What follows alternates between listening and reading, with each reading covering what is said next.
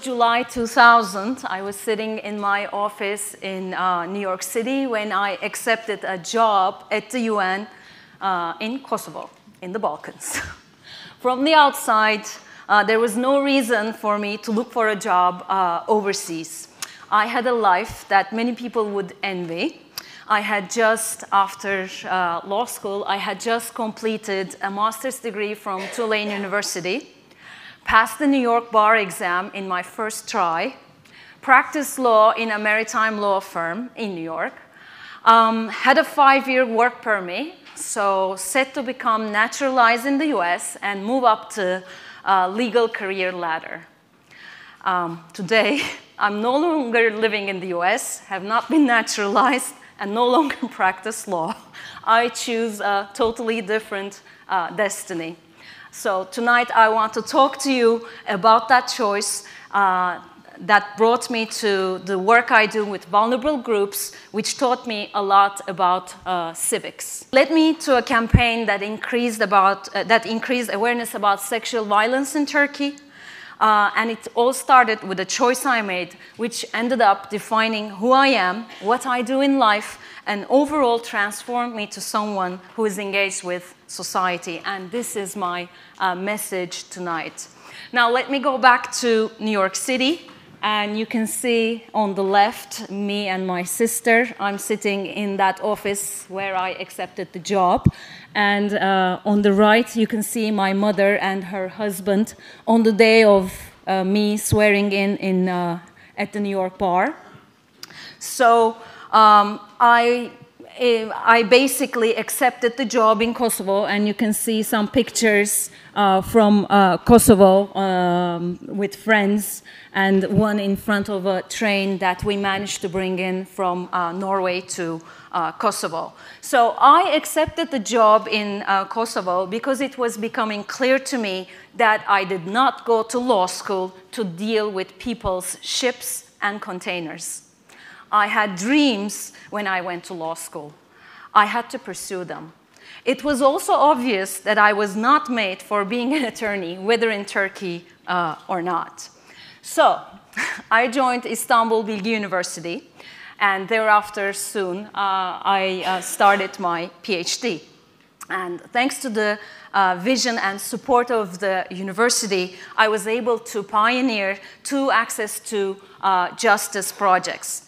The first was the establishment of uh, legal clinics, whereby law school students, basically my students, uh, provide public legal education to inmates in prison, in the prisons of uh, Istanbul. And the second was the establishment of a pro bono clearinghouse that connects NGOs in Istanbul with law firms uh, in Istanbul. Through this network, NGOs can obtain free legal advice while law firms can fulfill uh, their social, social responsibility. When I started working on these uh, projects, legal clinics as well as pro bono, um, more than 10 years ago, both were alien concepts, and everyone thought I was crazy for trying to establish these things in Turkey. Uh, and I'm proud to say today they are in the strategic plans prepared by the Ministry of Justice, who is championing them, and while trying to spread them all over the country. Um, providing legal education to inmates uh, requires going to prison for weekly, uh, for nine weeks, and teaching for two hours at each visit. I'm sorry, I cannot really provide you a picture from the prison because you cannot take pictures inside the prison. Our curriculum consists of subjects that are relevant for the life of an inmate. They range from family to basic uh, rights and liberties to consumer law and corrections. And in order to evaluate my students' teaching and monitor them, I spend a lot of time uh, in prison with them. Um, you should be aware uh, that the number of people in prisons has increased more than threefold in Turkey in a time period of 10 years. And um, this is set to continue until we hit 350,000. So you bet this is our new issue in the coming years, the swelling uh, prison population. And you can see here the type of crimes that they have been uh, convicted of. And we're uh, working with almost all of these uh, people. Um, it costs, uh, according to the uh, 2015 figures, it costs uh, 20,000 liras to keep one person in jail per year. 20,000 liras. The financial costs notwithstanding, the social costs of incarceration is huge for families and communities as America is finding out and reversing its long policy of mass incarceration.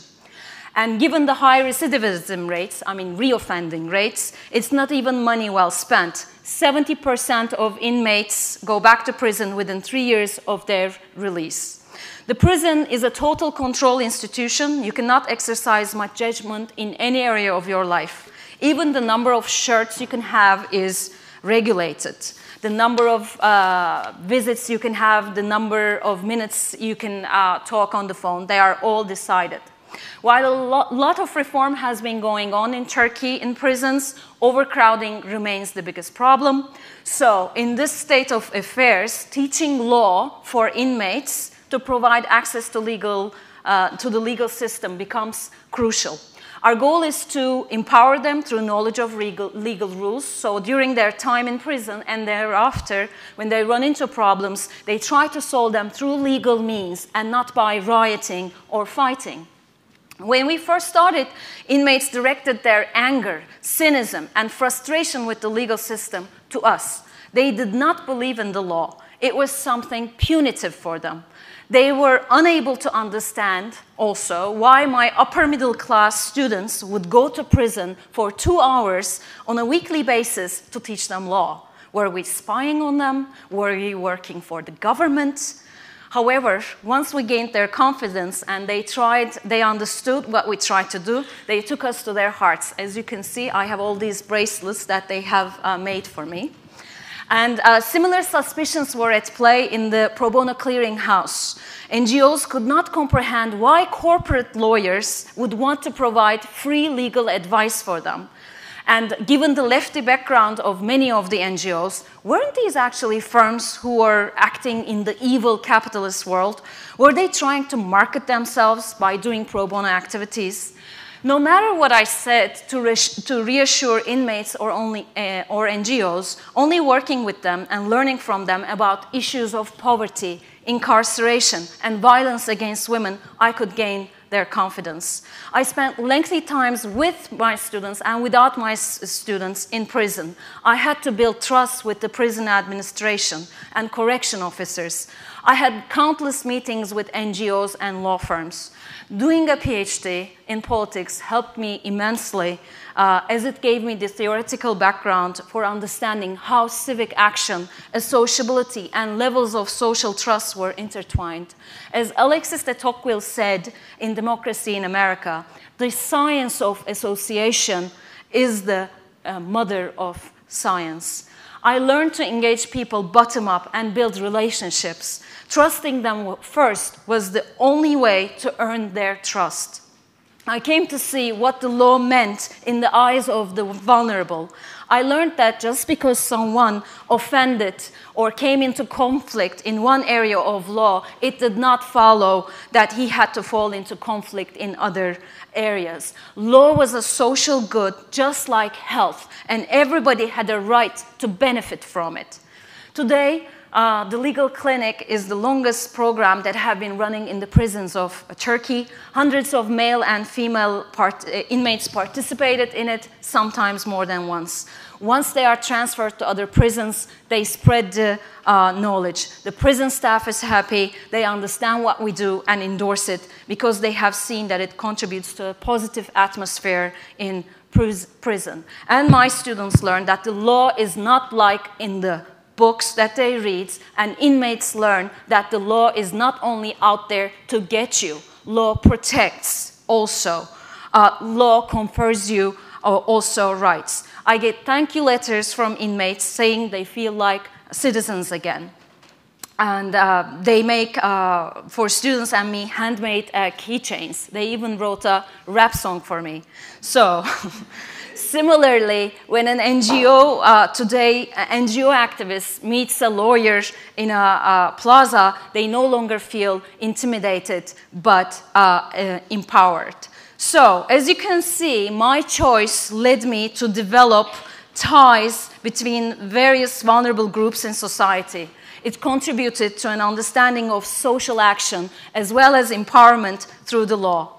So, when in February 2015 we woke up to the horrible murder of Özgecan Aslan in Turkey, who was attempted to be raped before being brutally murdered, all this engagement, coupled with being an active Twitter user, culminated into an online activism that caught everyone by surprise. And here, it's, uh, here is how it started. You can see on the left hand side uh, the first tweets. Um, I put up there and uh, the English translations. When I wrote these uh, first tweets, I sensed that uh, we as women had enough of sexual harassment. Still, we kept it to ourselves. We didn't really talk about it. So I wanted to encourage women to talk about the issue and to make the problem visible in society. I also wanted women to see that they were not alone. Many women were victims of sexual harassment. And inspired by uh, everyday sexism and Aufschrei in Germany, which are similar uh, ideas as Sen de Anlat, I choose a simple hashtag, uh, which translates as tell your story. In over four days, there were 300,000 original tweets. With retweets, it reached about a million, and women still write under the hashtag. Um, and you can see that the people were tweeting all over Turkey, and it wasn't only one spot. All this basically not only turned into an awareness raising exercise about sexual harassment, but also into a group therapy for women. The tweets show that the harassment problem was not confined to public transportation, where Özgecan was murdered. School, street, work, hospital, family, the police were all mentioned by women as venues of harassment and it was happening to all women, regardless of ethnicity, religiosity, class, or education. Ever since Sen de Anlat, we see increased societal reaction to sexual harassment. There are more and more requests for removal of sexist ads from circulation. I would like to think that Sen de Anlat made a difference, thanks to all women. So, why am I sharing this all of this with you. First, to tell you to choose to pursue your dreams. Do not waste time with a career that you do not want. Take risks. Second, raise your children in a way that allows them to make their own choices. If I did all of this today, it is because my parents raised me as an individual who can stand on her feet and, can, and make her own choices. Third, engage in society and civic action.